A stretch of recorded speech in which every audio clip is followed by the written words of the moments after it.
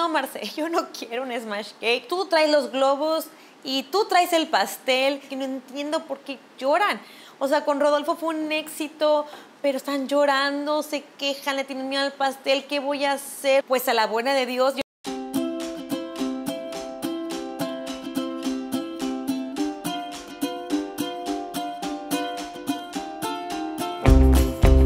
Hola, ¿qué tal? ¿Cómo están? Yo soy Marcela Cantú de Mostaza Fotografía y el día de hoy te vengo a contar pues, un video completamente diferente.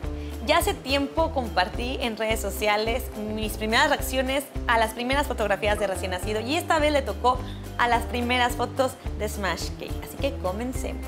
Parte importante de este crecimiento que hice de saltar de la fotografía de producto a la fotografía de bebés de un año pues realmente se lo debo a unos amigos que tenían una pequeñita. Me dijeron, oye Marce, pues tú haces fotos de producto y he visto que haces fotos de pareja. Pues ¿cómo ves? Mi preciosa va a cumplir un añito. ¿Le puedes tomar las fotos a mi preciosa en un parque? Porque pues para ese entonces yo vivía en Linares y ellos vivían en Monterrey. Así que le dije, bueno, pues vámonos a un parque. Nunca he trabajado con un bebé de un año, pero pues a ver qué sale.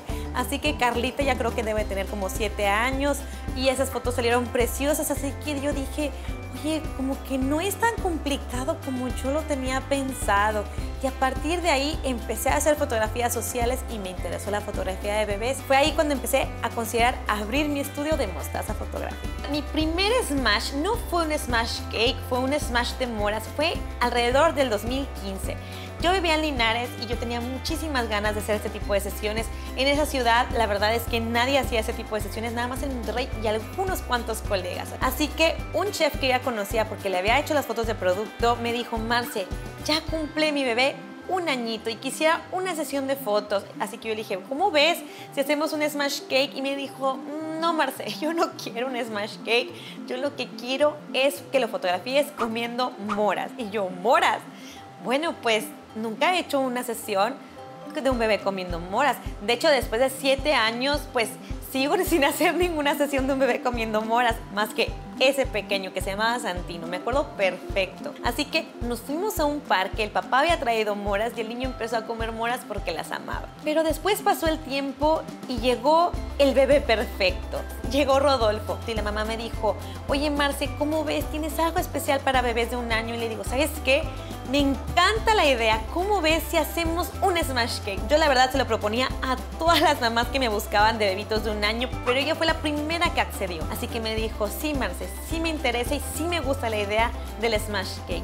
¿Qué hacemos? Entonces yo dije, pues yo no tengo ningún proveedor en esa ciudad para que me haga pasteles. Pues ¿cómo ves si yo nada más te cobro la sesión y tú traes los globos y tú traes el pastel y yo veo cómo complemento la decoración. Así que en ese tiempo lo que yo hice fue comprar un, ya, ya, en ese entonces ya había comprado un canvas. De hecho no lo compré, lo mandé a hacer, busqué una foto por internet, lo imprimí en una imprenta y ese era mi primer canvas porque no tenía para comprar un canvas más grande. Hice unas banderas como de fieltro creo que así se llama. Y bueno, la mamá trajo el pastel y Rodolfo disfrutó su pastel y dije, bueno, esto es muy fácil, la verdad no creo que sea tan difícil. El bebé solo coopera, el bebé solo empieza a comer, bueno, Creo que lo más complicado de ese tipo de sesiones va a ser la decoración. Poco a poco empezó a pasar el tiempo, pues quise meter un poquito más de decoración. Hubo decoraciones en que yo hacía como abanicos de papel, de colores. Después los pude conseguir y empecé a integrarlos. Hicimos flores como de papel de China y empezamos a usarlos en las decoraciones, pero los papás siempre traían el pastel y siempre traían los globos con helio. Pero llegó un punto en que los bebés empezaban a llorar y yo no sabía por qué lloraban. Yo le decía a Gaby, la chica que me ayudaba ahí en Linares, Gaby, es que no entiendo por qué lloran. O sea, con Rodolfo fue un éxito, pero están llorando, se quejan, le tienen miedo al pastel, ¿qué voy a hacer? No sé cómo hacer ese tipo de sesiones. La verdad es que no me gustaba hacer ese tipo de sesiones porque no sabía cómo actuar con un bebé. La verdad es que no los conocía tanto como ahorita. Digo, ya han pasado más de siete años de que empecé con esto.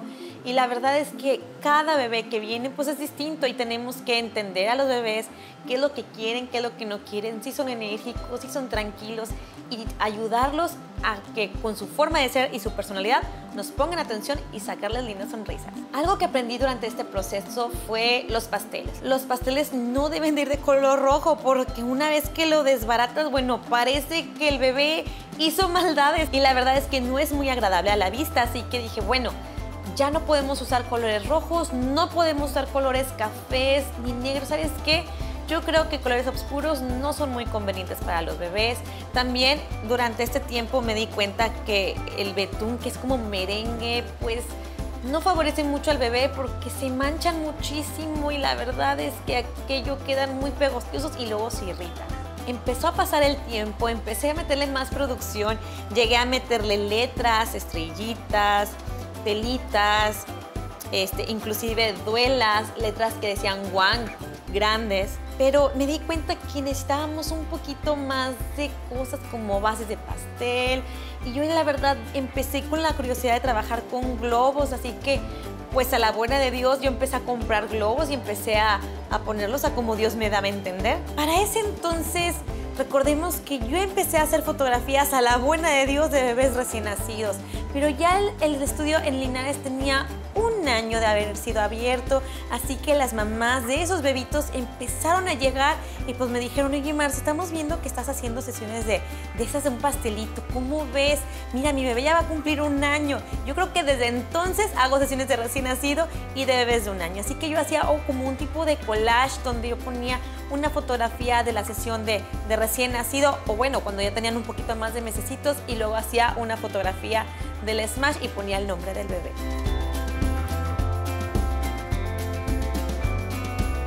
Yo en ese entonces usaba dos luces, una del, lado izquierdo y una del lado derecho, lo cual hacía que no me generara muchas sombras, se veían las fotos muy planas, pero la verdad sí se veían profesionales porque como ustedes, si acaso ustedes llegaron a ver el video de reaccionando a mis primeras fotos de recién nacido, en la ciudad donde yo vivía no había estudios especializados en la fotografía de bebés, así que pues yo estaba pensando en que sí se veían profesionales porque pues no había ningún estudio que se dedicara a lo mismo, así que dije, bueno, creo que es lo mejor que puedo dar, si se ven profesionales, a la gente le está gustando y empezaron a llegar muchísimos bebitos que cumplían un añito. Pero en ese proceso de que los bebés lloraban y la verdad es que no sabía por qué lloraban, pues empecé a analizarlos, empecé a estudiarlos y a saber qué era lo que los molestaba o qué era lo que los irritaba o por qué se asustaban cuando estaban con un pastelito. Y a raíz de eso empecé a ver pros, en contras, qué hacer, qué no hacer. Y fue como fui conociendo a los bebitos. Y hasta el día de hoy puedo decir que yo la verdad no he tomado ninguna capacitación para ese tipo de sesiones, todo ha sido con la experiencia, con, con la prueba y error y hasta ahorita me dedico a enseñar a muchos colegas que pasan por el mismo proceso que yo, pero a enseñarlos a cómo realizar este tipo de sesiones de manera efectiva. En ese proceso de la fotografía de Smash Cake he trabajado con gemelos, con cuates, con trillizos, inclusive con cuatrillizos y eso me dejó de experiencia que mientras tú estás trabajando con múltiples, si sean trillizos o ya sean cuatrillizos que tienen el añito y todavía no se pueden sentar, entonces no es conveniente realizar este tipo de sesiones porque en esa ocasión de los cuatrillizos pues los bebitos todavía no tenían la edad suficiente para poderse sentar porque nacieron muy prematuros, así que esa es una experiencia que también me llevo para hacer ese tipo de sesiones.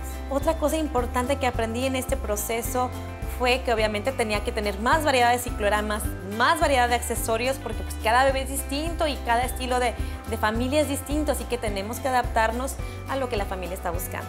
Ya para ese entonces tenía como un año aquí en Monterrey y Ana me dijo, oye Marce, estoy por renunciar a mi trabajo, ¿cómo ves?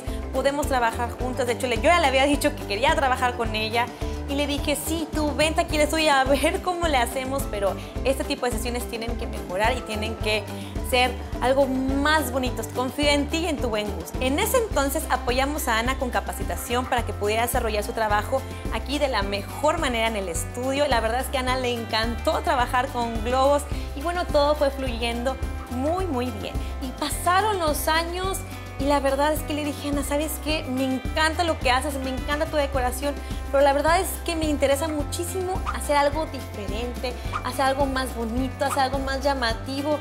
Y fue cuando decidimos abrir el canal de YouTube y a la par hacer el upgrade de las sesiones de Smash Cake. Si no sabes a lo que me estoy refiriendo, aquí te voy a dejar una etiqueta sobre la sesión de Leonardo, donde ahí explicamos el upgrade que habíamos tenido nosotros como estudio.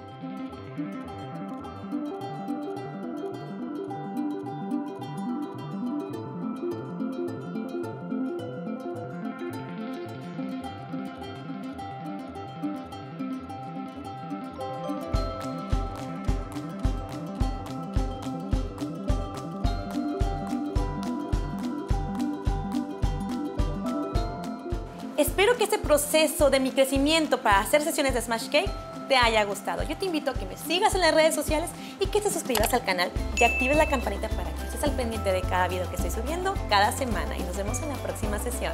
Bye.